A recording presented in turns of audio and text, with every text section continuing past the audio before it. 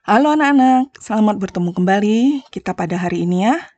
Uh, Ibu tetap berharap uh, semoga kamu tetap semangat, tetap sehat, dan tetap bersiap-siap terus di dalam mengikuti pembelajaran kita ya. Oke, pada hari ini kita akan membahas tetap masih bab satu ya. Nah, kemudian uh, kita akan membahas tetap masih keadaan alam negara-negara di dunia. Namun hari ini kita akan membahas mengenai keadaan alam negara Amerika Serikat. Oke, baik, langsung saja ya. Nah, jadi boleh kalian semua perhatikan ini gambar dari peta wilayah Amerika Serikat ya. Nah, ini kalau kamu lihat, ini kalau peta dunia, kita lihatlah Amerika Serikat itu ya. Bagiannya ya yaitu yang berwarna biru ya. Nah, kemudian ada blok satu blok daratan dan ada negara bagian yang di luar dari blok daratannya. Oke, dan di sini juga nanti Samudra Pasifik ada satu negara bagian lagi. Nah, jadi inilah dia yang satu blok daratan, ya. Ini satu blok daratan, ini diperbesar, oke. Lengkap negara-negara bagiannya. Nah, di mana di satu blok daratan ini, ini terdapat 48 negara bagian, ya. Dan terdapat satu distrik, ya. Oke, kemudian ini adalah negara bagian yang berada di seberang satu blok daratan itu tadi, yaitu uh, langsung saja yaitu Alaska ya. Lalu ini ya sebenarnya posisinya di bagian katakanlah ya di bagian barat daya dari Alaska ya. Oke, ataupun ya oke di bagian barat dari satu blok daratan utama ini. Nah, itu adalah Hawaii. Oke. Nah, jadi ini dia. Di satu blok daratan ada 48 negara bagian, lalu di seberangnya ada dua lagi ya. Nah, itu dia.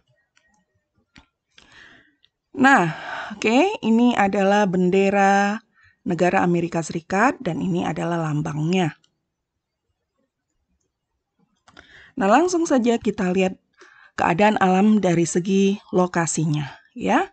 Nah, baik.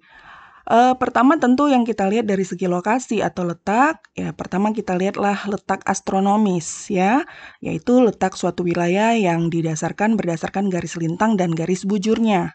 Nah, jadi berdasarkan letak astronomisnya, negara Amerika Serikat itu uh, terletak di 24 derajat 33 menit lintang utara sampai 70 derajat 23 menit lintang utara dan 172 derajat 27 menit bujur barat sampai 66 derajat 51 menit bujur barat. Oke ya. Jadi keseluruhannya ada di bujur barat wilayahnya, lalu wilayahnya dari segi lintang keseluruhan berada di lintang utara, ya. Nah, itu dia. Nah, lalu dari segi letak geografis, ya. Nah, dapatlah dilihat bahwa di sebelah utara dari Amerika Serikat itu adalah Kanada. Lalu di sebelah timur itu adalah Samudra Atlantik. Di sebelah selatan itu adalah Meksiko, Teluk Meksiko, dan negara Kuba. Nah, kemudian di sebelah barat itu adalah Samudra Pasifik. Ya, itu dia. Nah, baik. Kalau dilihat dari segi luas, wilayah Amerika Serikat berkisar 9 juta 826.675 km persegi. Nah, yang tadi sudah disinggung ya, yang terdiri dari 50 negara bagian dan sebuah distrik federal, ya. Nah, negara ini terletak di bagian tengah Amerika Utara yang menjadi lokasi 48 negara bagian yang saling bersebelahan. Ya. Nah, kemudian beserta distrik ibu kota yaitu Washington DC ya, Washington DC. Oke, dua negara bagian lainnya yaitu Alaska dan Hawaii terletak terpisah dari dataran utama Amerika Serikat. Alaska di ujung barat laut, Laut Amerika Utara, ya, dan berbatasan dengan Kanada, yaitu tepatnya di bagian timurnya, ya.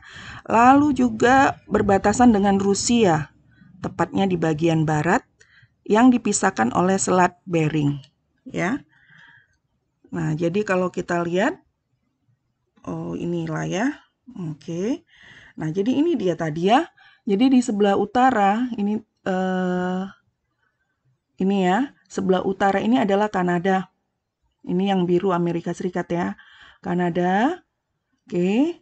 Nah, lalu di sebelah barat sebelah barat oke, itu adalah Samudra Pasifik.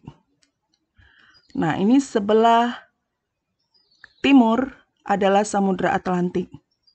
Nah, lalu di sebelah selatannya Nah, itulah dia tadi dikatakan berbatasan dengan Meksiko, Teluk Meksiko, dan Kuba. Ya. Nah, jadi di sebelah eh, barat dari Alaska ini tadi sebelah tim kalau untuk Alaska sebelah timurnya tadi ini adalah Kanada, namun sebelah baratnya adalah Rusia, ya. Nah, jadi itu sebenarnya yang ini, ini ya. Ini kan wilayah Asia yang kemarin kita bahas. Nah, ini kan adalah daratan Rusia atau negara Rusia. Nah, ini kan sampai dia jauh ke timur ini ya. Ini. Nah, jadi sebenarnya ini tuh yang sebelah baratnya Alaska. Nah, hanya saja ini kan gambarnya mendatar. Nah, kalau kita lengkungkan, dia membentuk seperti bola bumi. Nah, berarti yang ini ya berada di sebelah barat dari Alaska. Berarti di sini posisinya ya. Nah, jadi antara uh, di antaranya itu, nah di sini ada Selat Bering. Nah, Oke okay lah, inilah yang bisa kita tunjuk dari gambar mini ini ya. Oke. Okay. Nah, baik, kembali lagi ya. Nah, jadi Selat Bering tadi. Nah, sedangkan negara bagian Hawaii itu adalah sebuah kepulauan, sebuah kepulauan yang berlokasi di Samudra Pasifik. Ya. Nah, jadi uh, itu tadi sudah kita tunjuk ya. Nah, ini jadi sebelah sini ya, ini Hawaii. Nah, hanya saja ya ini peta insertnya lah ya. Kita lihat di sini untuk menjelaskan gambar yang di tepi ini yang tidak yang tidak uh, sepenuhnya ditampakkan ya. Nah, jadi dari sini bisa kita lihat contohnya. Oke. Nah, jadi selain itu Amerika Serikat juga memiliki beberapa teritori di Pasifik dan Karibia ya. Maksudnya itu yang wilayah ini ya. Karibia maksudnya di sini, sekitar sini. Dan Pasifik yaitu di wilayah Samudra Pasifik di sekitar sini ya. Jadi wilayah laut-laut uh, Oceania begitu ya. Wilayah Oceania. Oke. Baik. Itu dia. Yang dimaksud dengan Amerika Serikat juga memiliki beberapa teritori di Pasifik dan Karibia. Nah, oke, okay, sekarang kita lanjut mengenai keadaan geologinya. Ya. Nah, letak geologis Amerika Serikat itu memberi pengaruh signifikan pada kondisi iklim ya. Nah, jadi kalau dilihat dari letak geologis di wilayah Amerika Serikat bagian barat. Oke, berarti fokus perhatian kita sebelah sini. Oke, bagian barat itu langsung berbatasan dengan Samudra Pasifik ya dan itu merupakan wilayah pantai yang cukup sempit. Nah, ini kita perhatikan ya. Nah, ini cukup sempit. Ini kamu boleh lihat ini yang berwarna merah digambarkan di sini. Ini menyatakan wilayah pegunungan, ya. E, yang berwarna hijau itu berupa dataran rendah. Kalau kuning, ya, kita pasti masih ingat ya simbol-simbol warna ya.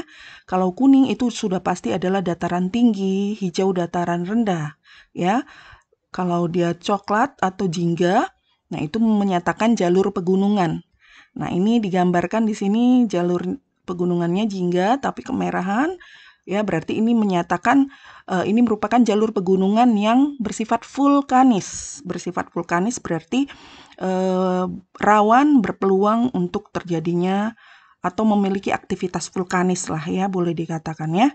Oke, itu dia. Jadi rawan terhadap terjadinya ya gejala tektonik, gejala vulkanis, ya, pergeseran lempeng maupun terjadinya gunung meletus, itu maksudnya.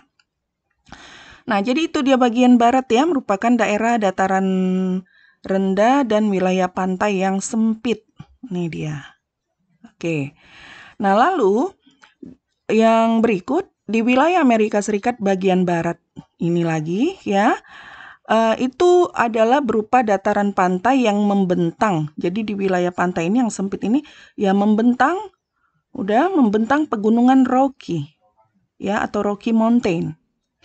Oke, yang cukup tinggi sehingga ya pergerakan angin, pergerakan angin dari Samudra Pasifik itu agak terhalang oleh keberadaan dari bentangan alam, benteng alam yang berupa pegunungan uh, Rocky Mountain ini. Ya. Nah, itu dia. Nah, kemudian di wilayah Amerika Serikat bagian timur dari kompleks pegunungan Rocky, nah, maksudnya sebelah timur dari jalur pegunungan Rocky ini berarti ini, ya. Oke. Nah, yang bagian timurnya ya berarti sekitar ini semua ya. Oke. Nah, itu adalah dataran luas ya, mulai dari Central Plain yang termasuk wilayah Kanada, terus turun dari utara, terus turun sampai ke selatan ini berbatasan dengan Meksiko. Terus ini merupakan uh, dataran luas ya, dataran luas Central Plain sam dan uh, Great plain. Nah, ini ya dari utara dia sampai ke selatan. Jadi boleh dikatakan kalau untuk khususnya untuk yang Great Plain ya, Great Plain ini saking luasnya itu meliputi 10 negara bagian ya. 10 negara bagian lebih, lebih gampangnya kita lihat yang ini ya. Jadi kan bagian tengah tadi ya. Nah, jadi 10 negara bagian yaitu dari utara ke atas ya. Kita lihat. Jadi Montana, kemudian Dakota Utara atau North North Dakota, kemudian Wyoming, negara bagian Wyoming, kemudian Dakota Selatan, nih, kemudian Nebraska, lalu Colorado, lalu Kansas, lalu Oklahoma, oke, kemudian Texas, dan New Mexico. Ya, jadi ada 10 10 negara bagian yang terbentang Great Plain, dataran rendah yang luas ya, dataran luas Great Plain. Nah, ini cakupannya ada 10 negara. Nah, ini paling gampang ya dilihat. Nah, oke, okay, kalau tadi ini kan pegunungan Rocky, lalu dataran pantai yang sempit ya. Nah, ini dataran bagian tengah-tengah ini yaitu adalah Great Plain, dataran luas yang sangat luas. Oke. Baik, itu dia tadi ya. Ini yang berwarna, ada dataran tingginya, ada dataran rendahnya yang sangat luas sekali bentangannya. Oke, lalu di bagian timurnya lagi, artinya di bagian timur dari Great Plain ini ya, jadi terus dia ke arah kan, ke arah timur, ke arah timur, ke arah timur. Nah, di bagian timurnya si Great Plain ini, daerah dataran dataran rendah atau dataran luas ini, nah itu eh, terdapatlah pegunungan Allegheny dan Appalachia. Ya, Appalachia dengan ketinggian yang relatif lebih rendah, ya. Nah, ini dia kalau kamu perhatikan ini. Nah, ini ya yang berwarna jingga atau yang berwarna kuning ini. Nah, ini uh, ini berupa dataran pantai Atlantik. Jadi sepanjang dari dataran ini kan Atlantik ya. Dataran pantai Atlantik yang cukup subur. Dan di daerah ini pula lah boleh dikatakan sangat padat penduduknya. Oke. Nah, inilah keadaan geologi negara Amerika Serikat. Nah, baik. Kalau kita lihat dari keadaan iklim, Amerika Serikat memiliki iklim yang bervariasi sesuai dengan letak dan ketinggiannya, ya. Jadi ada iklim laut sedang yang basah. Nah, itu terdapat di pantai barat bagian utara di mana curah hujannya sangat tinggi karena pengaruh angin barat dari Samudra Pasifik. Nah, kemudian mengalami iklim subtropis. Nah, itu terdapat di dataran pantai barat bagian selatan. lalu mengalami iklim kering. Terdapat di dataran tinggi Colorado dan Great Basin, pada bagian tertentu malah terdapat gurun pasir seperti gurun Mojave. Ya. Nah, lalu mengalami juga iklim stepa. Nah, itu terdapat di daerah padang rumput yang disebut prairie ya atau stepa. Nah, kemudian mengalami iklim laut sedang. Nah, itu terdapat di bagian timur Amerika Serikat, misalnya di sepanjang pantai Florida, dengan curah hujan mencapai 1500 mm per tahun ya. Oke. Kemudian mengalami iklim dingin. Nah, mengalami iklim dingin ini terdapat di wilayah negara bagian Alaska karena letaknya di wilayah kutub utara. Nah, lalu juga mengalami iklim laut tropis. Nah, itu terdapat di Kepulauan Hawaii dengan curah hujan yang cukup tinggi sepanjang tahun. Nah, jadi Dapat disimpulkan ya eh, beberapa iklim di Amerika Serikat itu uh, berupa ya iklim kontinental, iklim sedang, iklim mediteran, iklim subtropik dan iklim dingin atau kutub yang di Alaska tadi. Nah, itulah secara umum ya uh, pem, apa mengenai kondisi iklim di Amerika Serikat. Nah, tapi dapat dikatakan lah ya eh, untuk wilayah Amerika Serikat, nah itu secara umum mengalami empat musim ya, yaitu musim semi, panas, gugur, dan dingin. Nah sekarang bentuk muka bumi ya, bentuk muka buminya seperti disinggung sewaktu kita tadi lihat keadaan geologis ya lebih kurang ya ini juga yang ter terinikan ya, yang dideskripsikan di sini ya.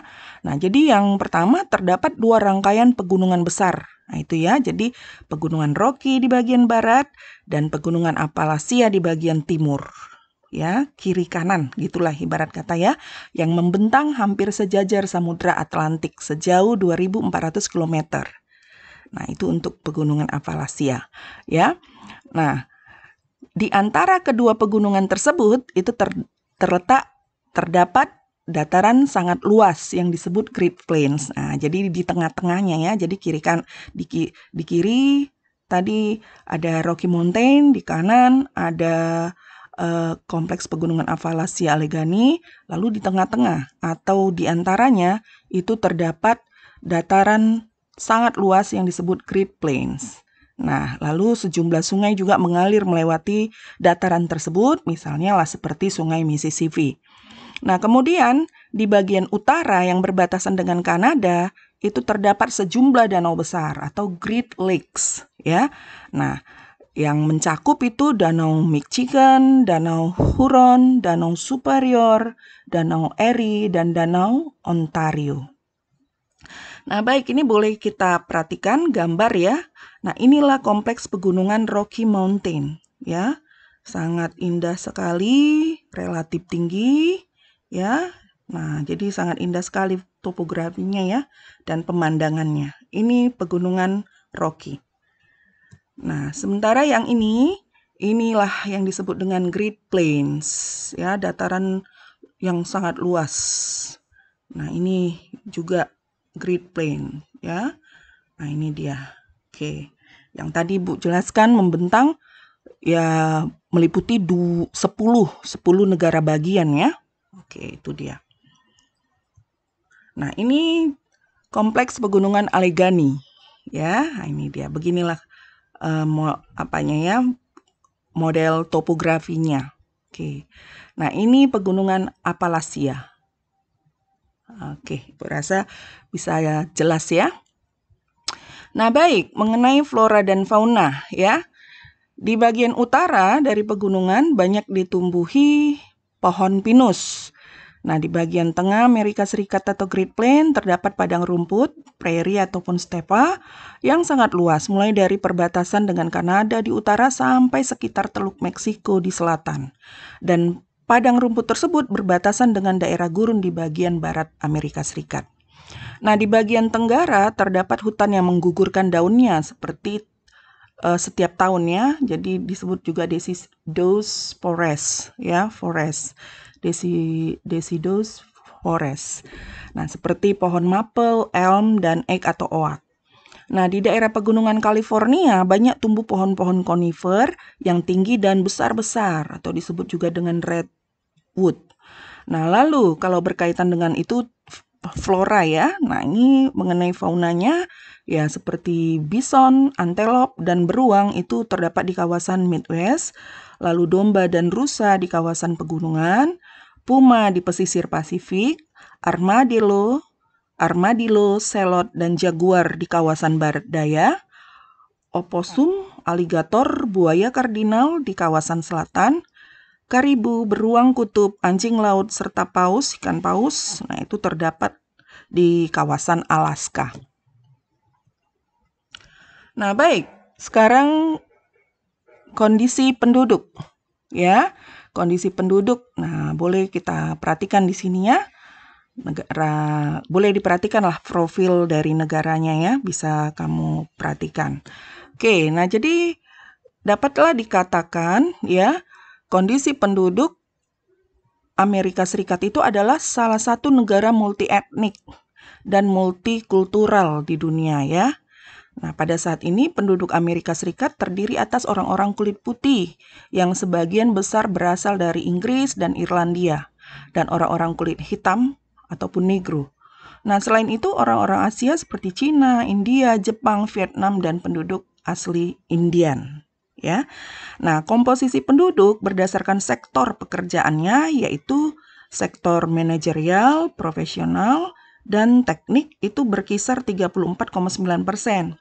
Lalu yang di bidang penjualan, perdagangan, dan perkantoran itu sekitar 25 persen. Lalu berkaitan dengan industri manufaktur, mesin-mesin ya, transportasi dan keahlian itu berkisar 22,9 persen dan sektor jasa lainnya itu sekitar 16,5 persen. Nah lalu sektor pertanian, kehutanan, dan perikanan sekitar 0,7 persen. Nah, walaupun terkesan kecil di sini, namun kegiatan pertanian, kehutanan, dan perikanan, nah itu sudah dilakukan secara modern atau boleh dikatakan sudah secara uh, industrialisasi ya, artinya semuanya serba industrialisasi. Nah, jadi uh, dilakukan secara intensif untuk melipat gandakan hasilnya dengan cara intensivitas iya, dengan cara ekstensifikasi iya, yaitu lahan yang sangat luas, lalu secara mekanisasi iya dengan menggunakan mesin-mesin alat-alat yang modern ya. Uh, jadi itu benar-benar dilakukan kemudian dilakukan dengan cara diversifikasi model penyeragaman eh, produk-produk ataupun hasil-hasil pertanian dan lain sebagainya juga dilakukan. Nah, jadi sangat dilakukan secara besar-besaran, secara eh, modern ya, jadi mengalami kegiatan modernisasi semuanya ya. Nah, jadi sekalipun jumlah uh, penduduknya melakukan kegiatan pertanian, kehutanan, perikanan, peternakan ini jumlah kecil, namun itu semua dilakukan sudah secara besar-besaran, ya, secara uh, modernisasi, ya. Nah itu dia uh, yang dapat dijelaskan dari itu ya, kenapa bisa 0,7 persen. Nah misalnya seperti itu. Nah, Amerika Serikat tergolong ke dalam negara maju pasca industri ya dan merupakan negara dengan perekonomian termaju di dunia. Nah, ini kondisi penduduk juga ya. Majunya perekonomian Amerika Serikat itu didorong oleh ya ini sudah umum dan tentu kita bisa paham ini ya.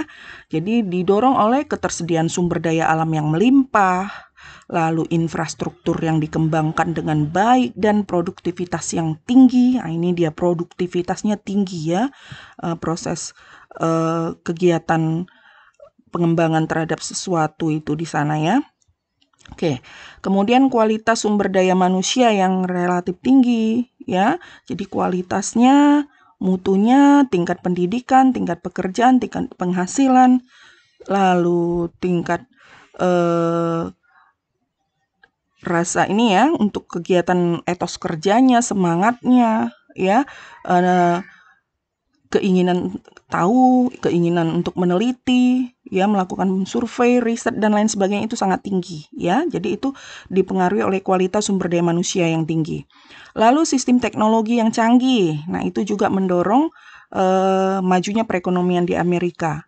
Kemudian uh, pengeluaran dana ya, pengeluaran maksudnya di situ pengeluaran dana militer itu uh, tergolong tertinggi di dunia. Nah, sehingga kondisi keamanan negara jadi terjamin ya uh, dengan baik. Hal ini tentu saja dapat mendukung kondisi ekonomi, budaya, dan politik. Nah, kemudian uh, penduduknya ini juga dengan kualitas sumber daya alam yang tinggi ini, nah itu boleh dikatakan sebagai pusatnya pemimpin-pemimpin dalam riset ilmiah dan inovasi teknologi ya. Nah, jadi itulah semua faktor-faktor yang bersifat mendorong majunya perekonomian Amerika Serikat. Ya, sehingga Amerika Serikat pun dikatakan sebagai negara yang maju, ya, negara adidaya, negara adikuasa, ya, negara superpower, ya. Nah, itu. Jadi adidaya memiliki kemampuan yang luar biasa, uh, adikuasa memiliki uh, kekuasaan di berbagai bidang, baik darat, laut maupun di udara mereka mampu kuasai. Ya, negara superpower berarti memiliki kekuatan, ya, kekuatan yang luar biasa uh, di dalam kancah uh, internasional, nah, gitu ya. Nah, itulah dia tentang Amerika Serikat, ya. Nah, oke, okay, baik anak-anak, ya kiranya apa yang sudah kita dengarkan, sudah kamu perhatikan. Nah, kamu bisa paham dan seperti biasa, ya tetaplah salin hal-hal yang penting untuk kamu ingat, ya. Nah, oke, okay, baik sampai di sini. Silakan melanjutkan pembelajaran, silakan menyalin jika ingin menyalin, ya. Nah, sampai nanti dapat waktunya untuk melanjutkan pembelajaran yang lain. Oke, okay, baik, tetap semangat, salam sehat. Terima kasih buat perhatiannya.